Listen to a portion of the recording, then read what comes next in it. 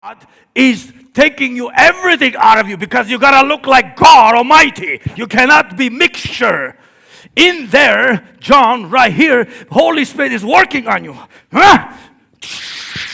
Burning you, fixing, taking this man, washing, he's washing, rebirth, washing, washing. I'm cleaning this man. Oh, there is a temptation about girls. Oh, there is a temptation about drugs. Oh, there is a temptation about money. Oh, this guy is a liar. This guy, God, this hammering, taking away depression, anxiety, taking away fire, burning everything, everything happening right here.